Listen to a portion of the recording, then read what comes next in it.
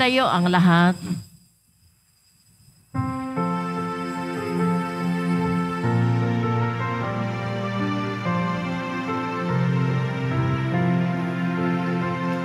Magpuri kayo sa Panginoong Diyos, lahat ng saan tinakpan. Magsiawit kayo at siya'y ipagdangal magpakailanman. Magpuri kayo mga anghel ng Diyos sa Panginoong may kapal. Magpuri kayo mga langit sa Diyos na sa inyo'y lumikha. Magpuri kayo sa Panginoong lahat ng saan tinakpan. Magsiawit kayo at siya'y pagdangal magpakailanman.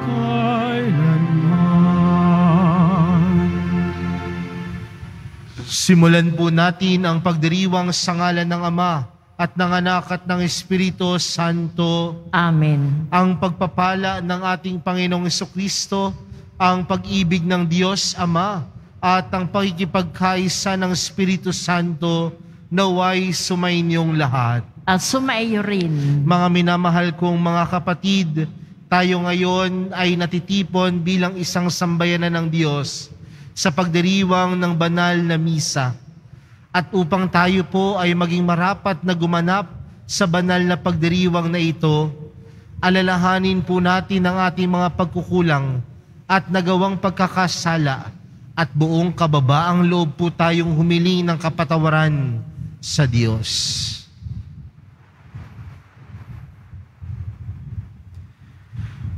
Sinugong tagapagpagaling sa mga nagsisisi, Panginoon, kaawaan mo kami. Panginoon, kaawaan mo kami. Dumating na tagapaganyayang mga makasalanan ay magsisi, Kristo, kaawaan mo kami. Kristo, kaawaan mo kami. Nakaluklok ka sa kanan ng Diyos Ama para ipamagitan kami. Panginoon, kaawaan mo kami. Panginoon, kaawaan mo kami. Kaawaan tayo ng makapangyarihang Diyos, patawarin tayo sa ating mga kasalanan at patnubayan tayo sa buhay na walang hanggan. Amen. Manalangin tayo.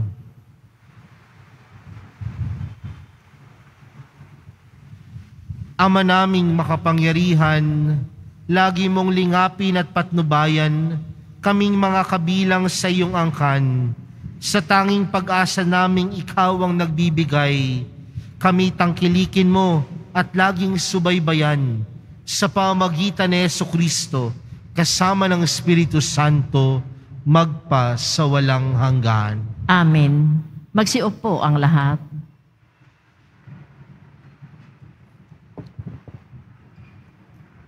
Pagbasa mula sa aklat ng Henesis. Nang likhain ng Panginoon ang lupa at lahat ng bagay sa langit, wala pang anumang halaman o pananim sa lupa, sapagkat wala pang ulan noon at wala pa ring magsasaka. Ngunit mayroon ng bukal ng tubig na dumidilig sa lupa. Nilikha ng Diyos ang tao mula sa alabok, hiningahan sa ilong, at nagkaroon ng buhay. Naglagay ang Panginoon ng isang halamanan sa Eden, sa dakong silangan, at doon dinala ang taong kanyang nilalang. Pinasibol niya roon ang lahat ng uri ng kahoy na nakalulugod sa paningin at masasarap ang bunga. Sa gitna ng halamanan ay naroon ang punong nagbibigay ng buhay at ang punong nagbibigay ng kaalaman tungkol sa mabuti at masama. Inilagay ng Panginoon ang tao sa halamanan ng Eden upang ito ay pangalagaan at pagyamanin. Sinabi niya sa tao, Makakain mo ang alinmang bungang kahoy sa halamanan. Maliban sa bunga ng punong kahoy na nagbibigay ng kaalaman tungkol sa mabuti at masama. Huwag na huwag mong kakanin ang bungang iyon. Mamamatay ka kapag kumain ka niyon. Ang salita ng Diyos. Salamat sa Diyos. Panginooy papurihan, abakong sariling buhay. Panginooy papurihan, abakong sariling buhay. Pinupuri ka, poong Diyos, nitong aking kaluluwa. O Panginoong aking Diyos, kay dakila mong talaga. Ang taglangin mong kasuotay, dakila rin at marangal pa. Nababatbat ka, poong Diyos, ng liwanag na maganda. Panginooy papurihan, abakong sariling buhay. Lahat sila ay umaasa, sa iyo ay nag-aabang. Umaasa sa pagkain na kanilang kailangan. Ang anumang kaloob mo ay kanilang tinatanggap. Mayroon silang kasiyahan pagkat bukas ang iyong palad. Panginooy papurihan, abakong sariling buhay. Natatakot mga matay kung kitlin mo ang hininga. Mauuwi sa alabok pagkat doon mula sila. Taglay mo ang katangiang buhay nila ay ibalik. Bagong buhay ay dulot mo sa nilikha sa daigdig. Panginooy papurihan, abakong sariling buhay. Magsitayo ang lahat.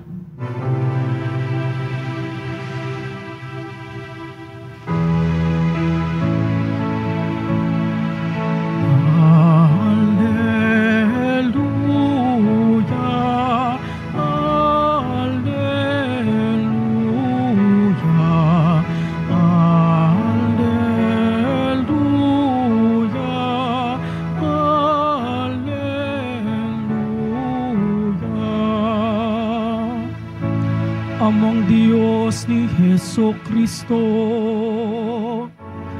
ang salita mo'y totoo. Kami ay pabanalin mo.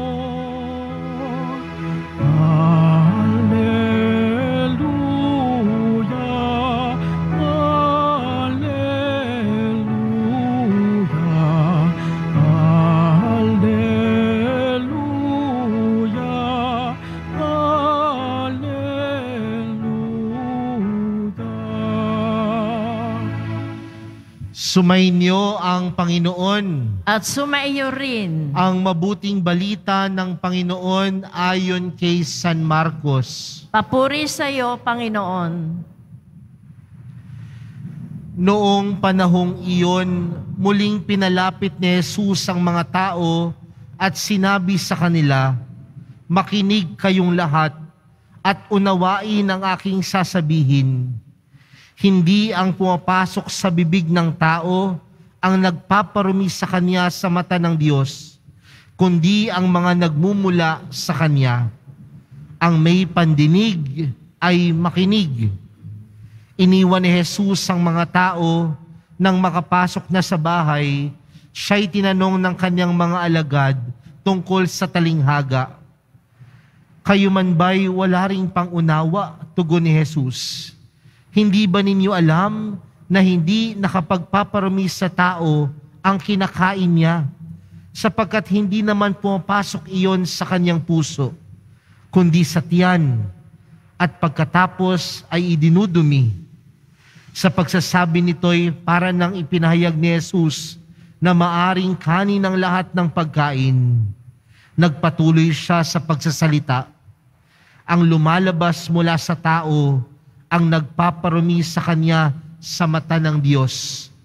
Sapagkat sa loob, sa puso ng tao, nagmumula ang masamang isipang nag-uudyok sa kanya na makiapid, magnakaw, pumatay, mga lunya, mag-imbot, at gumawa ng lahat ng kabuktutan, tulad ng pagdaraya, kahalayan, pagkaingit, paninirang puri, kapalaluan at kahangalan. Ang lahat ng ito'y nanggagaling sa puso ng tao at siyang nagpaparumi sa kanya. Mga kapatid, ang mabuting balita ng Panginoon. Pinupuri ka namin, Panginoong Heso Kristo. Magsiupo ang lahat. Magandang tanghali po sa inyong lahat. Lahat tayo ay may kaugnayan sa Diyos. Ang bawat isa sa atin ay kaugnay ng Diyos. Sa atin pong unang pagbasa, napakinggan po natin ang kwento kung paano nilikha ng Diyos ang tao. At sinabi sa ating unang pagbasa na tao ay kanyang hinubog, ang tao ay kanyang hiningahan. Kaya nga, yung paghubog ng Diyos, yung paghinga ng Diyos, ang paglikha sa bawat isa sa atin, nangangahulugan na ang bawat isa sa atin ay tunay na kaugnay ng Diyos.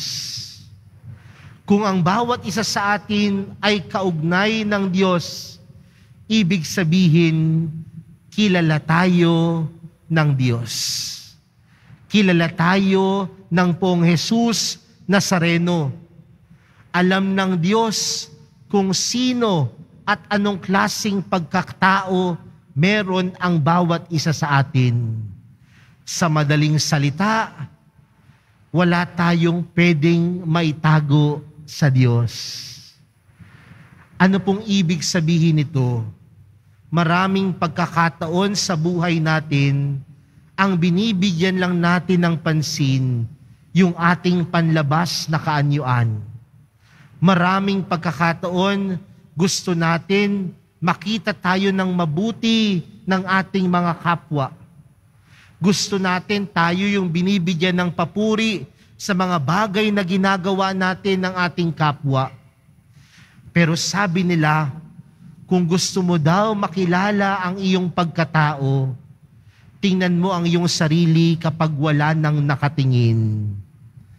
Tignan mo ang iyong sarili kapag wala nang tao sa iyong paligid at kung paano ka kumilos, kung paano ang iyong disposisyon, yun ang tunay mong pagkatao.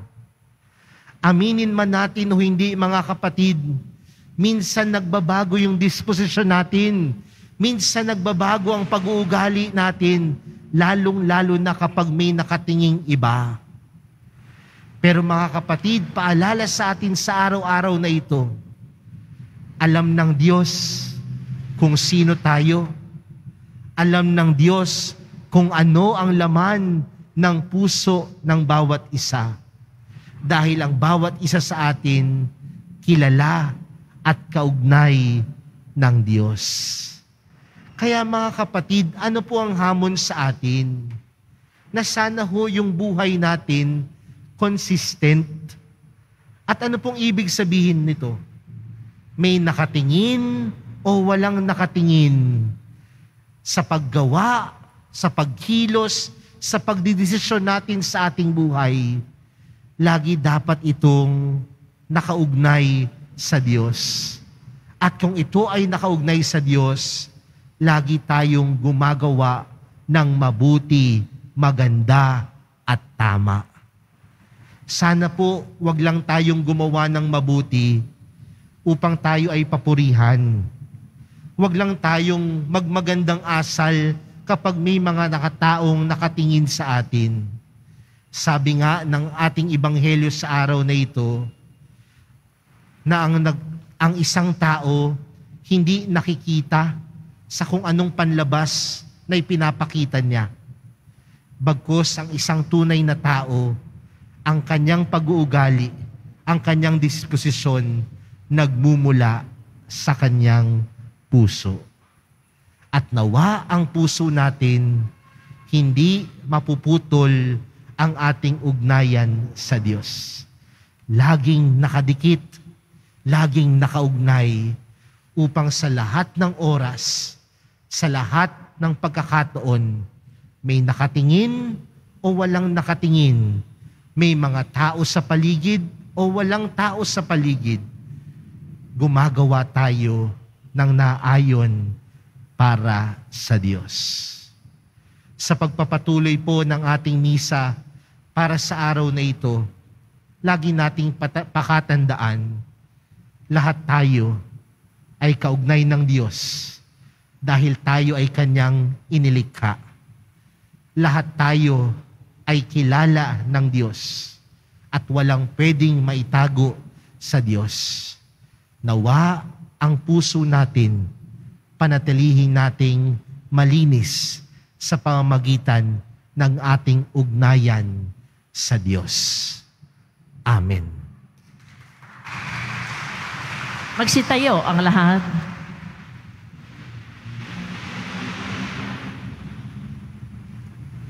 Minamahal kong mga kapatid, para sa mga Kristiyano, wala nang iba pang batas maliban sa batas ng pag-ibig. Manalangin tayo para sa ating katapatan sa batas na ito. Ang ating pong panalangin, Ama, dalisayin mo ang aming mga puso. Ama, dalisayin mo ang aming mga puso. Ang ating simbahan, naway laging mapanibago at dalisayin ng salita ng Ebanghelyo ni Kristo. Manalangin tayo. Ama, dalisayin mo ang aming mga puso. Tayong lahat, naway magdulot ng pag-asa sa mga nanghihina ang kalooban sa pamamagitan ng ating pagmamahal. Manalangin tayo. Ama, dalisayin mo ang aming mga puso. Ang ating mga puso naway mapuno ng tapat na pagnanais na mabuhay para sa bawat isa upang sumamba tayong lahat sa Espiritu at katotohanan. Manalangin tayo. Ama, dalisayin mo ang aming mga puso. Ang mga may sakit at nag-iingalo, naway makatagpo ng kaginawahan ng pag-ibig at habag ng Ama. Manalangin tayo. Ama, dalisayin mo ang aming mga puso. Makalangit na Ama, gawin mong dalisay ang aming mga puso upang hindi kami mawalay sa aming mithiing mahalin ka ng higit sa lahat. Hinihiling namin ito sa pamagitan ni Kristo na aming Panginoon. Amen. Magsiupo ang lahat. Ang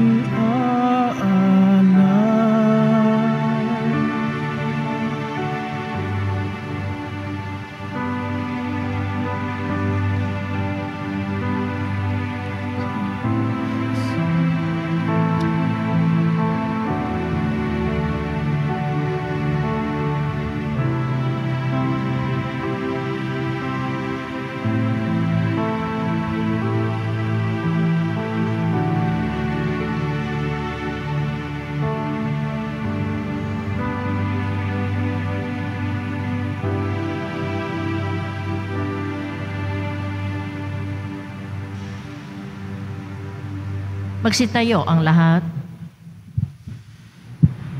Manalangin po kayo mga kapatid upang ang paghahain natin ay kalugdan ng Diyos amang makapangyarihan. Tanggapin nawa ng Panginoon ito paghahain sa iyong mga kamay sa kapurihan niya at karangalan sa ating kapakinabangan at sa buong sambayanan niyang banal.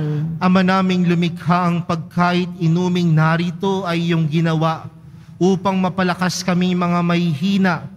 Ipagkaloob mong ito'y aming mapagsaluhan bilang pakikinabang sa buhay mong pang magpakailanman. Sa pamagitan ni Yeso Kristo, kasama ng Espiritu Santo, magpa sa walang hanggan. Amen. Sumainyo ang Panginoon. At sumaiyo rin. Itaas sa Diyos ang inyong puso at diwa. Itinaas na namin sa Panginoon. Pasalamatan natin ang Panginoong ating Diyos. Marapat na siya ay pasalamatan. Ama naming makapangyarihan, tunay ngang marapat na ikaw ay aming pasalamatan. Ikinalagod mong likain ang sanlibutan na iyong pinagbabago at idinarangal sa pamagitan ng iyong anak na kinalulugdan. Kaya't utang na loob ng iyong mga itinatangi at ng mga banal na kapiling mong lagi ang iyong paggiliw at pagkakandili. Kaya kaisa ng mga anghel na nagsisiawit ng papuri sa iyo nang walang humpay sa kalangitan, kami nagbubunyi sa iyong kadakilaan. Santo, Santo, Santo, Panginoong Diyos ng mga hukbo, napupuno ang langit at lupa ng kadakilaan mo, Hosana sa kaitaasan. Pinagpala ang naparirito sa ngalan ng Panginoon, Hosana sa kaitaasan. Magsiluhod ang lahat.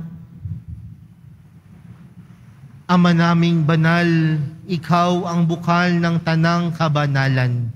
Kaya't sa pamagitan ng iyong Espiritu, gawin mong banal ang kaloob na ito upang para sa aming maging katawan at dugo ng aming Panginoong Heso Kristo. Bago niya pinagtiis ang kusang loob na maging handog, hinawakan niya ang tinapay, pinasalamatan kanya, pinaghati-hati niya iyon, iniabot sa kanyang mga alagad at sinabi, Tanggapin ninyong lahat ito at kanin. Ito ang aking katawan na ihahandog para sa inyo.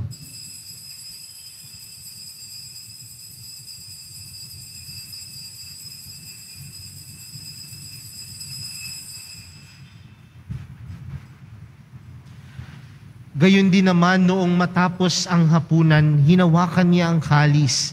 Muli kanyang pinasalamatan. Iniabot niya ang kalis sa kanyang mga alagad at sinabi, Tanggapin ninyong lahat ito at inumin.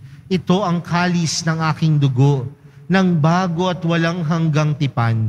Ang aking dugo na ibubuhos para sa inyo at para sa lahat sa ikapagpapatawad ng mga kasalanan.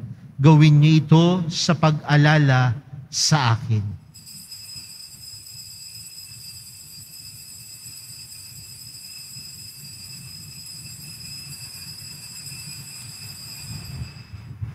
Magsitayo ang lahat.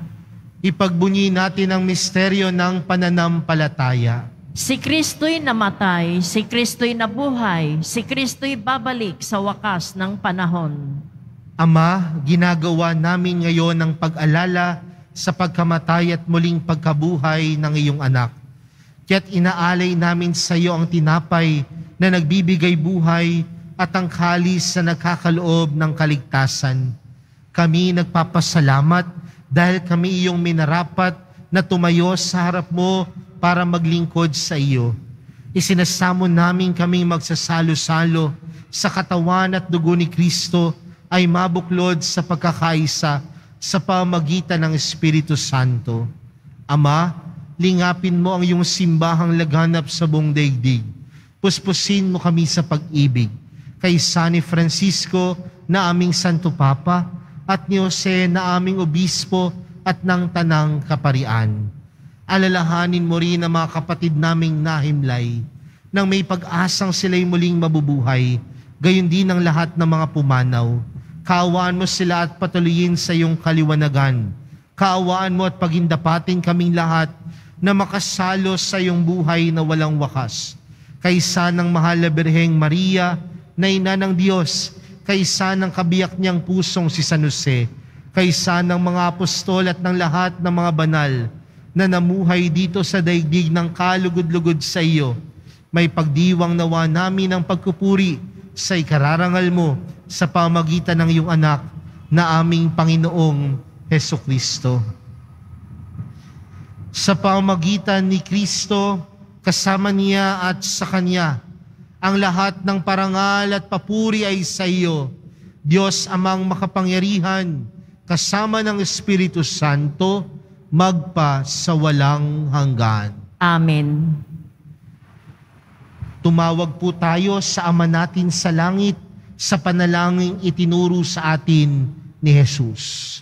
Ama namin, sumasalangit ka, sambahin ang ngalan mo, mapasa amin ang kaharian mo, sundin ang loob mo dito sa lupa para ng sa langit.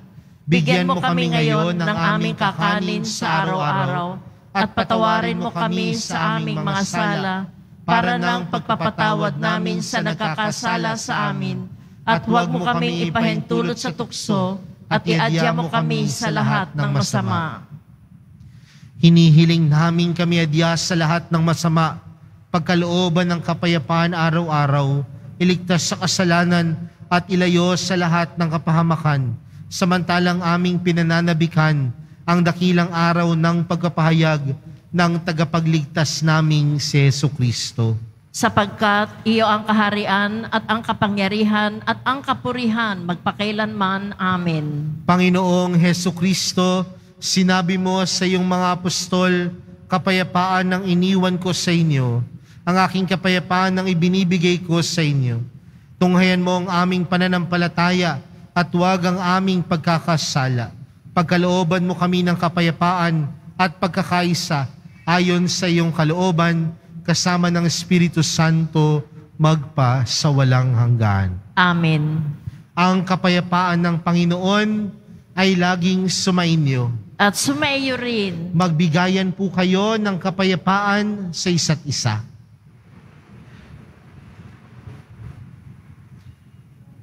Kordero ng Diyos na nag-aalis ng mga kasalanan ng sanlibutan, maawa ka sa amin.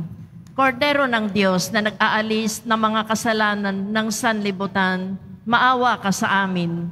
Kordero ng Diyos na nag-aalis ng mga kasalanan ng sanlibutan, ipagkaloob mo sa amin ang kapayapaan. Magsiluhod ang lahat.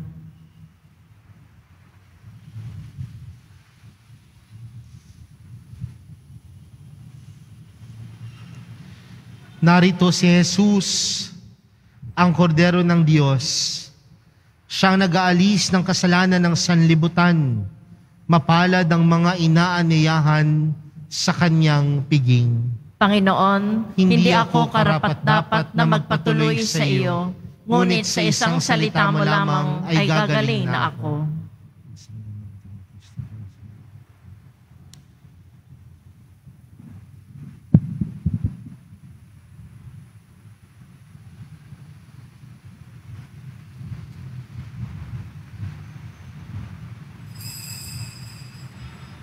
Para sa lahat ng tatanggap ng banal na komunyon, ang tamang paraan ng pagtanggap ay kaliwang kamay sa ibabaw ng kanang kamay at sasagot po tayo ng amen pagkasabi ng pari o ng lay minister ng katawan ni Kristo at isubo sa bibig bago umalis sa harapan ng pari o lay minister. Sumunod po tayo. Maraming salamat po.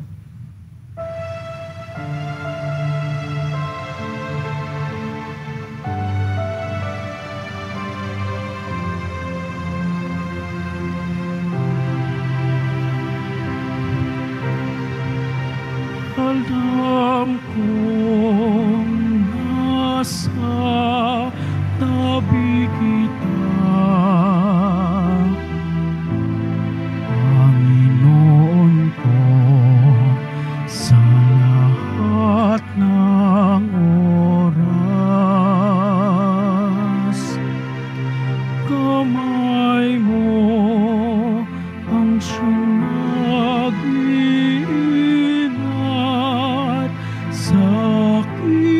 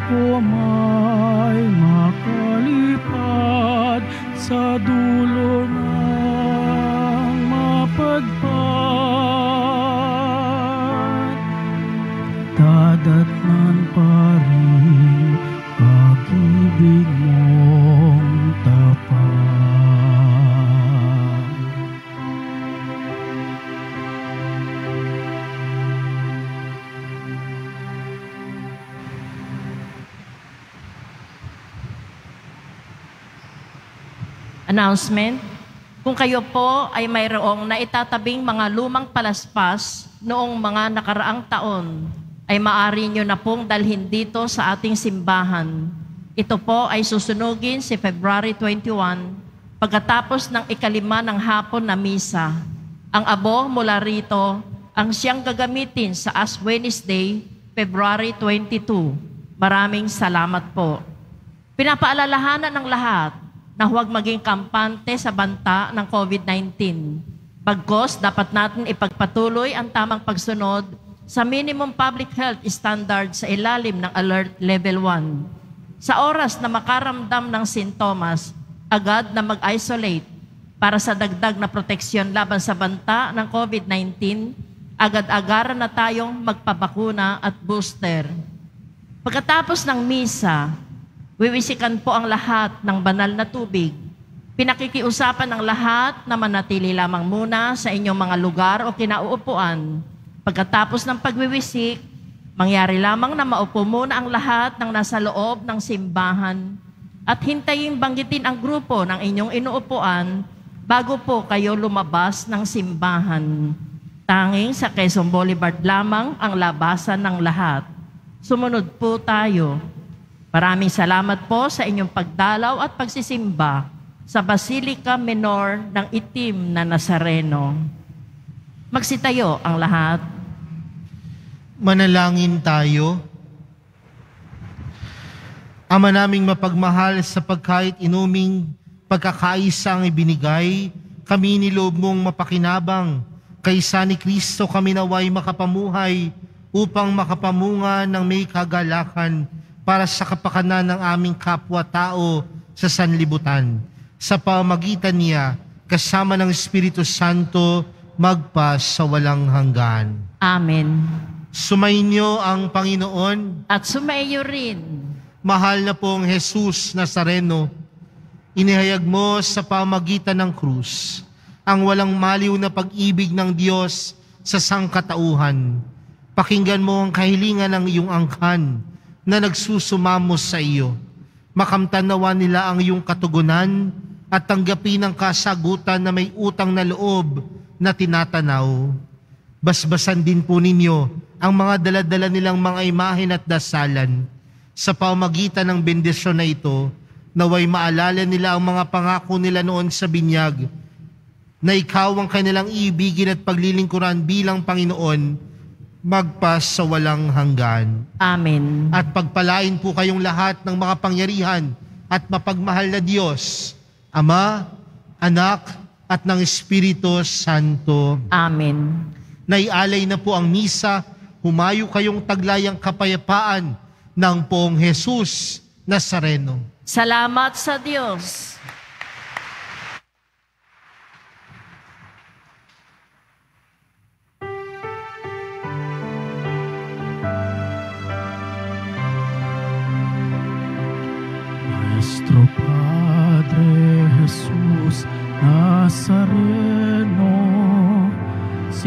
some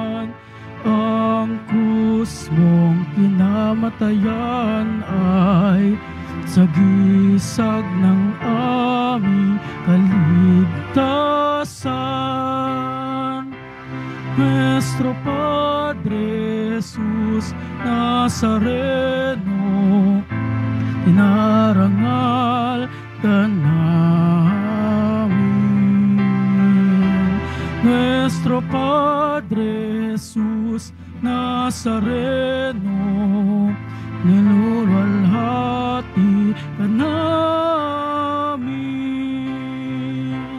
Nuestro Padre Jesus Nazareno, dinarangal ka namin.